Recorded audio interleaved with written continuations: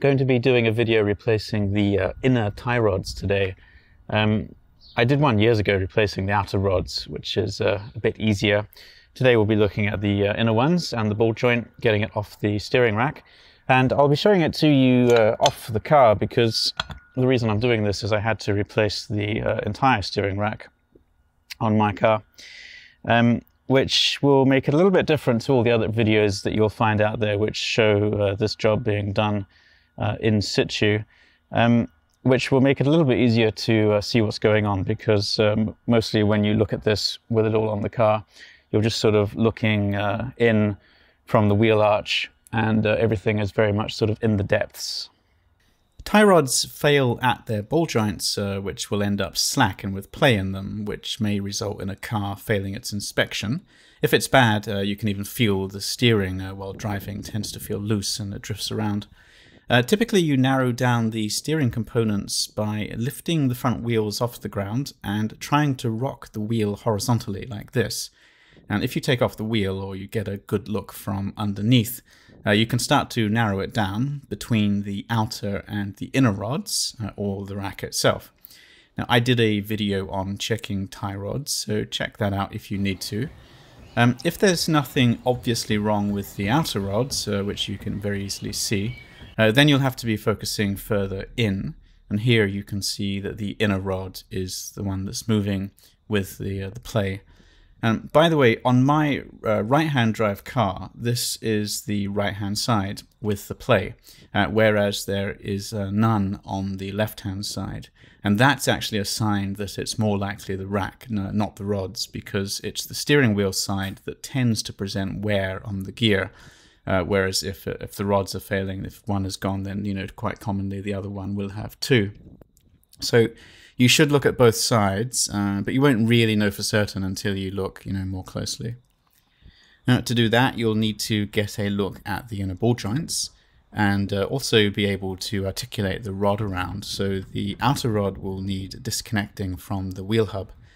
Uh, to get this in more detail, see my video on the outer rods specifically, but it's a, a uh, simple enough process. You can get the overview here. You release the locking nut before anything else, uh, while it's easier to brace the flats, uh, flats on the rod. Um, I'm using a crow's foot attachment here with a breaker bar because it's attachable to a torque wrench uh, later for tightening, uh, but also because it's less likely to do any rounding damage to the nut if it's on really tight. Then undo the nut on the uh, outer rod ball joint spindle. Um, helpful to have a deep socket for this, otherwise you'll have to use a spanner. Uh, turn it down until it's flush with the threaded rod end, but then uh, leave it to help absorb the hammer blows. You know, smack it hard until the taper fit pops out of the steering knuckle. Um, and then you might need the little hex key to uh, hold the ball from spinning as you undo the nut the rest of the way. And the rod will come free of the knuckle. Now, right away, you might get an idea as to the inner rod condition. If it's completely loose and floppy, uh, much as this one is, that's a clue that the inner ball joint is worn. It should be a bit stiff, ideally, uh, uh, but at least you know smooth and uh, moving with a bit of resistance. In my case, this uh, definitely wants replacing, um, even though my main issue was actually with the rack. Now, when you remove the outer rod, uh, if you're replacing everything with the same hardware, then uh, count the turns taken to unthread it so that you can put them back on as closely as possible. And I noted that along with the right or left hand side on these because I was reusing them. Okay, so now to look at the uh, inner ball joint. Um, if you're working on the car, then uh, this is the view you're restricted to, and you've got to work in that space to get the boot off and to get tools in. Um, in my case, however, I was taking the whole rack out, as I've mentioned, so this is my view instead. Now that locking nut needs to come off, obviously, because the boot needs to be slid off.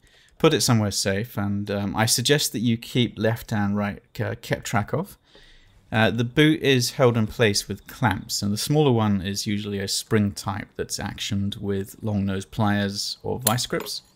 Um, if you want to reuse the boot, um, and you know if it's in good condition, then you might spray this section with some penetrating oil to try to free it up. Otherwise, you might rip it as it tends to get sort of glued on. Um, and at the inside, the larger end, uh, you need to see if it's still the factory clip, like this, the metal band, um, or if somebody's done the job before and has uh, put cable ties back on.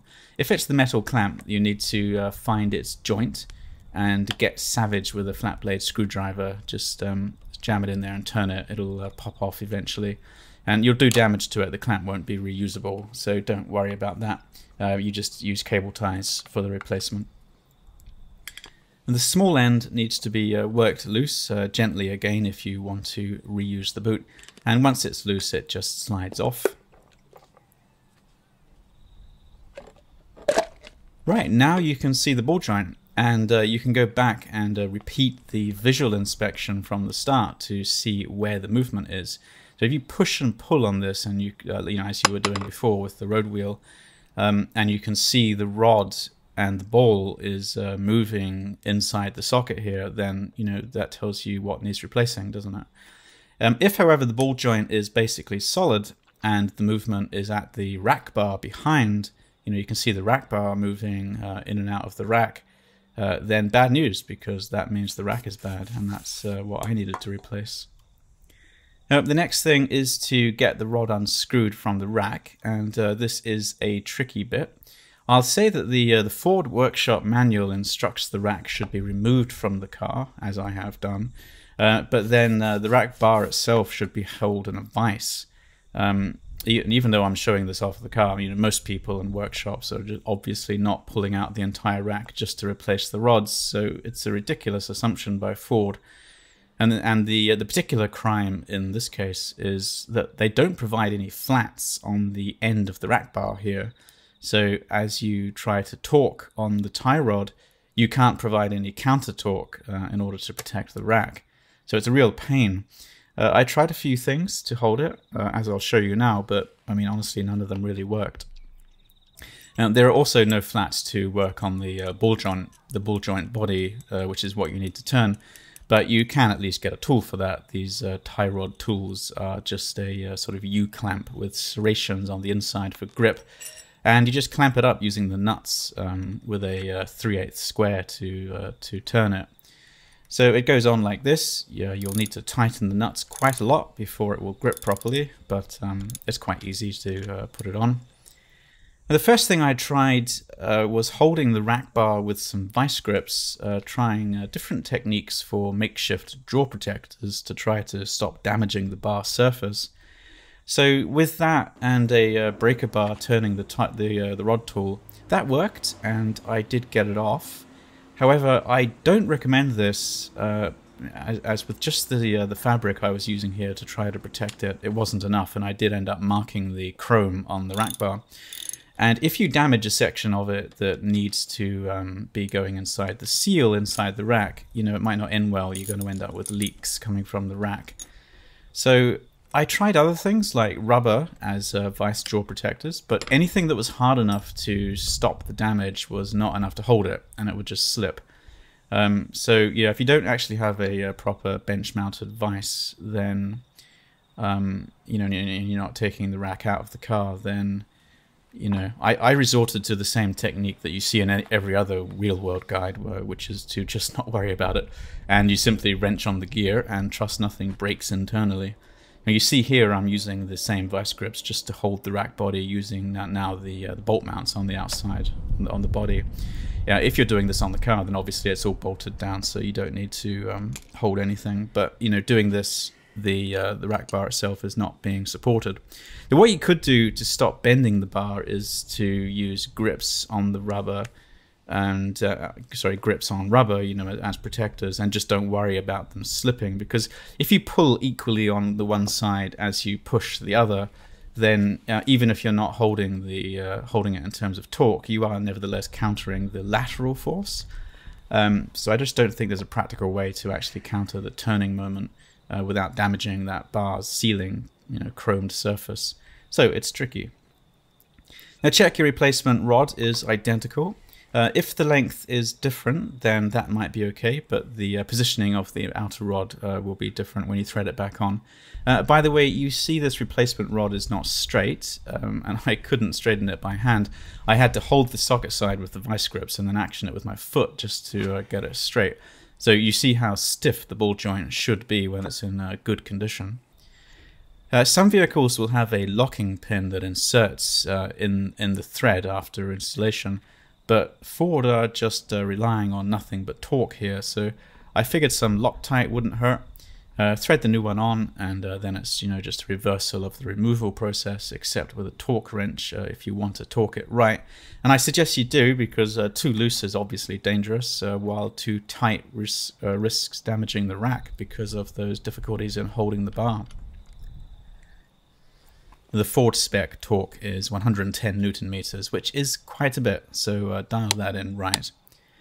And just before continuing, uh, make sure the new ball joint is clean and uh, has a good amount of grease present in the socket.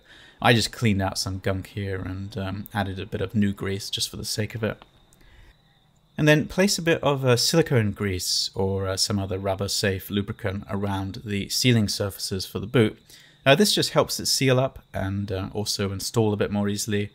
And when putting the boot back in place, orient it to suit the breather pipe on the rack and don't forget to uh, plug that back into it.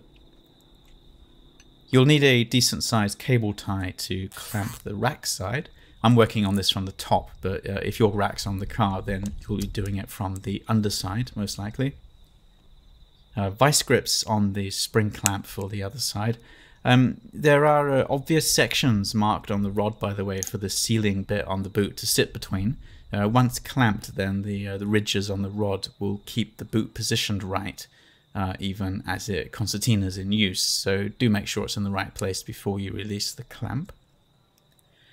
And this is the locking nut for the uh, outer rod.